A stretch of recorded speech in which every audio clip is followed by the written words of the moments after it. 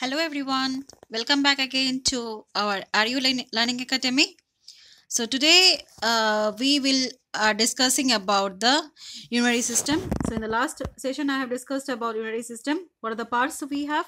We have two right uh, kidneys, right kidney and left kidney joining with the two ureters, right and left, and both the ureters join to the urinary bladder, and from the urinary bladder the urine comes to the urethra and it gets out of the body. So this process is called as micturition. So why the right kidney is always down? Because it is obscured by the shadow of the liver.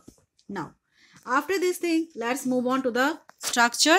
The first structure of the excretory system that is the kidney. When we talk about the kidney, the uh, what is the medical term used for the kidney? The kidney is a known as renes or renal so it has the what is the medical term it is called it is called also as ren, renis or renal so how many kidneys we ha- we have we have two kidneys now what is kidney if anyone asks in the exams these are actually a pair of excretory organs तो exam में पूछ सकते हैं हम लोगों को कि kidneys क्या होते हैं तो वी कैन से क्या kidneys are what these are the pairs of excretory organs कहाँ रहते हैं kidney it is situated behind the posterior abdominal wall so see the posterior structure kidneys हमारे कहाँ रहेगा? सरफेस एनाटॉमी के हिसाब से if you want to locate the kidney this are located in the posterior abdominal wall on each side of the vertebral column. दो vertebral column है।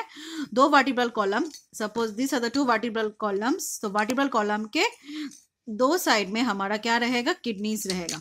On either side of the vertebral column behind the peritoneum now after this thing function push sakte so what is the function of the kidney? The kidneys are used to filter the blood and produce the urine. That is